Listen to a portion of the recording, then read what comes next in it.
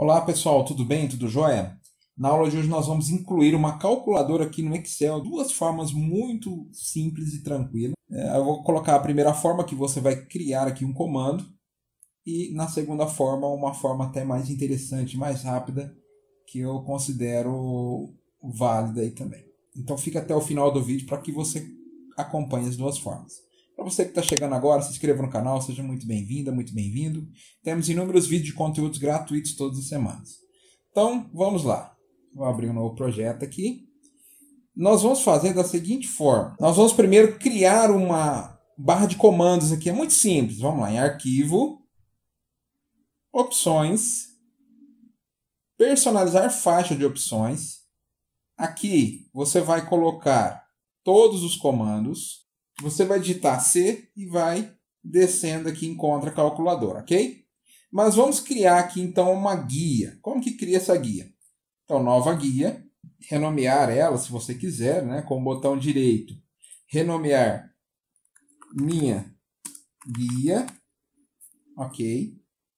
E aí, você vem aqui em calculadora, clica aqui, ó, novo grupo, né, você tem a, a guia, agora você clica em novo grupo, adicionar. Ok. E aplica ok. Perceba que agora vai aparecer aqui, ó, minha guia. Clique sobre ela, olha a calculadora aqui. Posso renomeá-la como calculadora também, sem problema nenhum. Tá joia? Então agora vamos para a segunda forma, que é mais rápida ainda.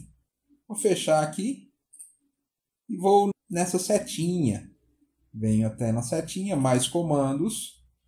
Vou colocar aqui em barra de ferramenta de acesso rápido, que é o acesso rápido aqui em cima, todos os comandos e eu vou digitar C, adicionar. E aí ela veio para cá, eu clico em OK e perceba agora tem esse ícone.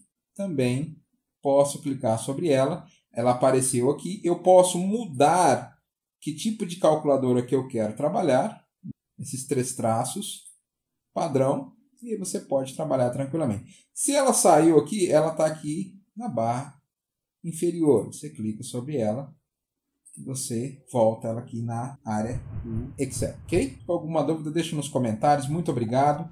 Se inscreva no canal, clique em curtir. Deixe aqui meu forte abraço e até breve.